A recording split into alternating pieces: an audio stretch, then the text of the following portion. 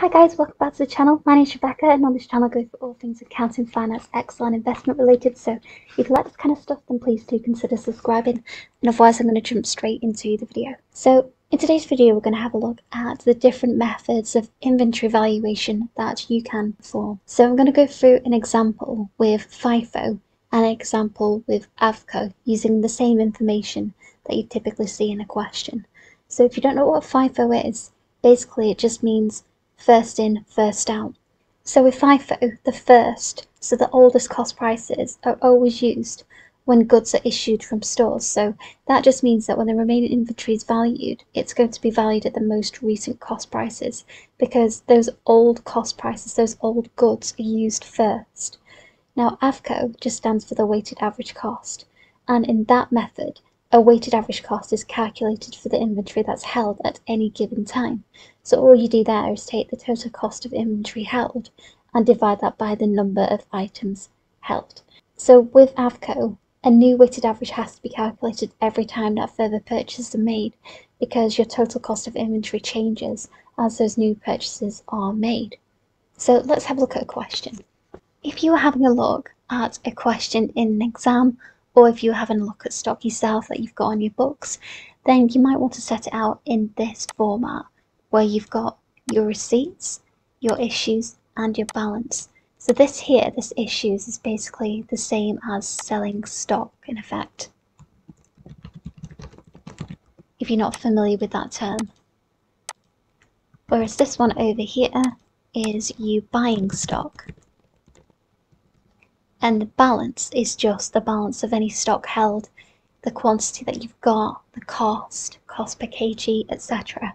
So this cost per kg is actually going to change when we use FIFO compared to what it's going to be when we go ahead and use AVCO down here. So again, AVCO is just the average weighted cost of that inventory. And I'll go through this and show you exactly how it's worked out. So do not worry. So what we're being told on a card, in effect, is that we've got these certain quantities that are being purchased and certain quantities that are being issued at a set point in time, and how much the cost per kilogram, so cost per kg, is for that particular stock. So I'm going to fill both of these out at the same time so you can see the difference or the similarities. So up here in our balance on the 1st of September, so this one here, it's going to look pretty much the same for both. So my quantity is I have 4,000 kilograms and that's costing £6 per kilogram. And it's exactly the same under AVCO, that's not changing at all. So we can tick this one off. So if you don't know how to produce ticks in Excel, if you just change this to Marlett at the top here, if you click on A, that gives you a tick, and if you click on R, it gives you an X. So we're going to go down one by one here. So on the 15th of September, we've then purchased 3,000 kilograms of stock. Now, as is typical when buying stock, prices can fluctuate unless you've got a bulk or a bulk deal going on where they're not going to fluctuate. But in this case, they are. So our cost per kg now is £4.50, which makes the total cost of that stock at that time that you've purchased 13,500 and that's not going to be any different for the AVCO method. So what you're purchasing isn't going to change at all. So we can put a tick next to this one. Next, on the 19th of September, we have 2,500 kilograms that have been purchased. And that's now £7 per kg, which, which seems a bit of a rip-off, but hey-ho. And we're going to pop that down there as well under the AVCO method. So you can see here again, but those totals are not changing. So it's this down here, this 25th of September, when we then get rid of stock, that we need to calculate how much that's going to be. So we're just going to fill in this balance quickly for these other two on the 15th and 19th. So we've got 7,000 kg, just make the formatting correct, so we've got 7,000 kg here that we've purchased. So our quantity on the 15th of September is going to be this 4,000 plus this 3,000 that we've purchased.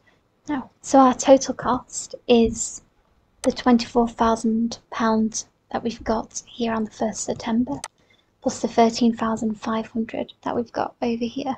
And here with our cost per kg, we've got an amount for £4.50 and for £6. So our quantity in kg here, we've now got the 2,500 plus the 7,000 and our total cost is going to be the 37,500 plus 17,500 and we can do that same thing again below. So you can see here that our total cost as at the 19th of September is 55,000 for both. However, when we come down to selling on the 25th of September, this is where things are going to differ. So, we're going to be selling 5,500 kg of stock. However, only 4,000 kg of our stock is at £6 per kg that we can see here.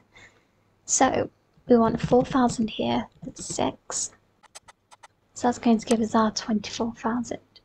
But we also need a further 1,500 of stock. So that's then going to be at this next price at £4.50 because we've used up all of the stock that was at £6. So we now need to use up some of this over here. So if we do the same again, then that means we're going to sell 5,500 kg of stock at 30,750 or at 5.59 pounds per kg.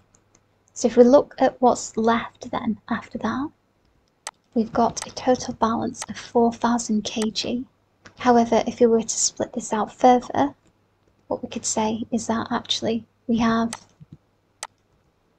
1,500 kg of that stock at £4.50 and we've got 2,500 of that stock at £7.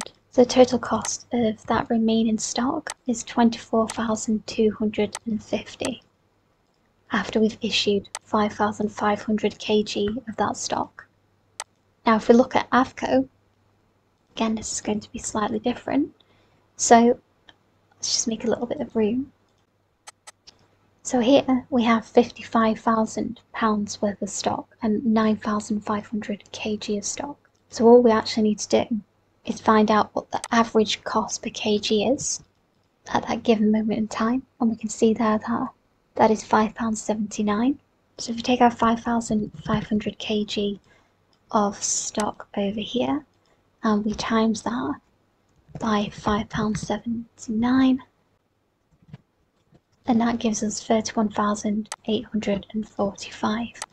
And if you're wondering how this £5.79 has been worked out, it is just a case of taking, taking this total cost divided by total quantity here. That's all. So in other words, equals 55,000 divided by 9,500. That's all. So here, after we've issued this stock, we're only going to be left again with £4,000 worth of stock. And that's going to have a total cost of 23,155. So that's it. So in a question, the only other thing that you might want to be aware of is that they might ask for the cost per kg in two decimal places, one decimal place, or maybe even three decimal places. But other than that, it's as simple as that. So I hope you found this video useful. Do give it a thumbs up if you enjoyed the video or if you like the style of this video. Leave a comment in the comment section below if you've got any questions around FIFO, LIFO, AVCO, um, any of the inventory valuation models and I'll do my best to get back to you. But otherwise, consider subscribing and I shall see you on the next video.